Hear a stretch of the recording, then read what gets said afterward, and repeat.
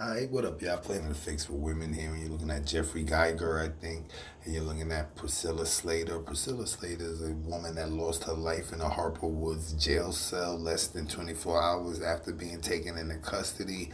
Two deputies were fired based on hiding evidence, and bad news came out today that the autopsy says she died from natural causes. So nobody killed her in custody. Nobody killed her in custody of the Harper Woods police, but she died in their cell with natural causes. No one assisted her, and deputies hid evidence. That's not enough to send somebody to jail. Because think about it, if they had an evidence of her death, imagine what they was ignoring while she was alive. And again, this is Kanika Jenkins' mother lawyer, Geoffrey Fieger. I don't know what's going on with that $50 million lawsuit or whatever, but this is Pris Priscilla Slater. Send prayers out to the Slater family. Her family want justice.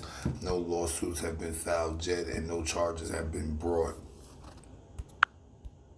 With that being said, what you heard and saw was the content. For additional content, click the link in the description.